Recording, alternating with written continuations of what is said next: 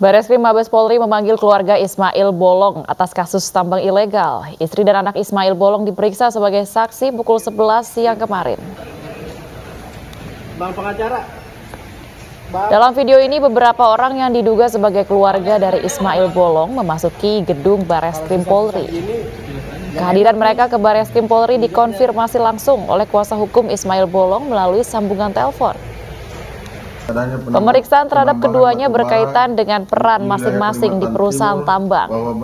Diketahui bahwa anak Ismail Bolong ini merupakan direktur utama perusahaan tambang batu bara ilegal yang berlokasi di Kalimantan Timur. Surat izin penambangan di daerah, di daerah saat ini yang beredar. Saya klarifikasi. Sebelumnya mantan anggota Polres Samarinda Kalimantan Timur Ismail Bodong Ismail Bolong maksud kami membuat pengakuan mengejutkan tentang adanya setoran uang tambang ilegal kepada Kabar Eskrim Polri Komjen Agus Andrianto. Usai videonya viral, keberadaan Ismail Bolong tidak diketahui.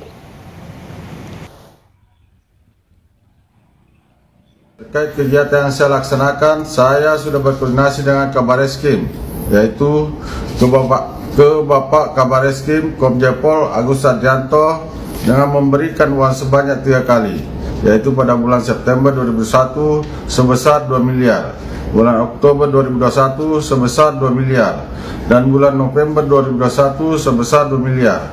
Uang tersebut saya serahkan langsung kepada Komjen Pol Agus Adrianto di ruang kerja